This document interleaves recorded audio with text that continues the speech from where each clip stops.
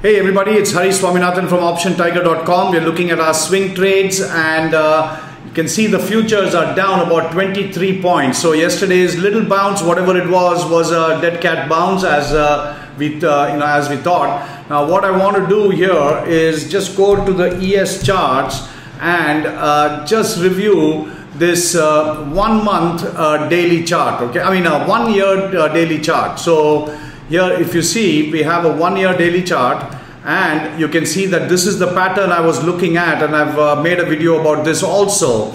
You can see that this is clearly breached this support point. So the next support point is right here. And if it breaches that also then uh, there is further uh, downside that is likely but it's already breached this first support point. You can see that it held once when it came down there but it's gone down again. So clearly the bearish trend is in place now.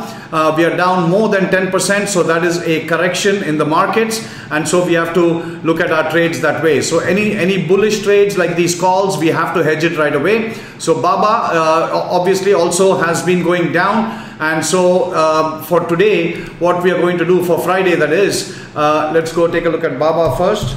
And uh, on Baba, what I want to do is, I've, I've, got this trade here. We want to make this into a diagonal and uh, try to uh, get this premium. So I'm looking at the 14th June uh, and uh, the 157.5 you can see Baba is going to open even lower today. So let's get this premium here. If you look at the trade itself uh, 3.69 and the mark price is 2.21 that might go down a little bit.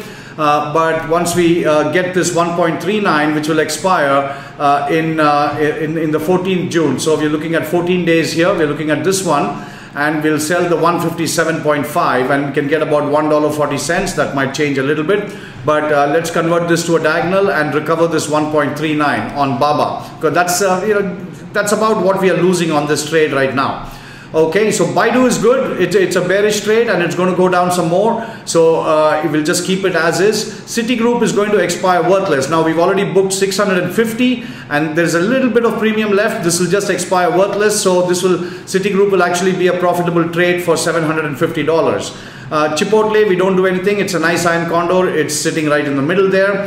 Uh, Costco also we have to hedge. And so let's go to Costco and I have a, a, similar diagonal structure here for the 7th June. So what we are looking at is the 7th June because we have only 21 days for the long. I want to get into the 7th June and sell the 245 call. Costco reported, didn't report very well. It's going to go down about $3 at the open. And now on Costco, you want to get into this trade as quick as you can uh, at the market open because you can see the volatilities are somewhat elevated and so you're going to get a good premium.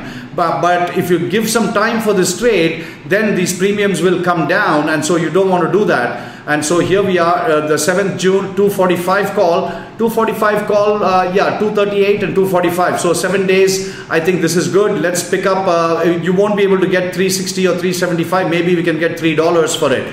But whatever it is the price it is we want to get into this trade as quick as we can then uh, Microsoft is going to expire worthless. We are sitting right in the middle and this has become a very nice trade. You can see we are up uh, 1120 and then there was I think two, uh, 200 from before.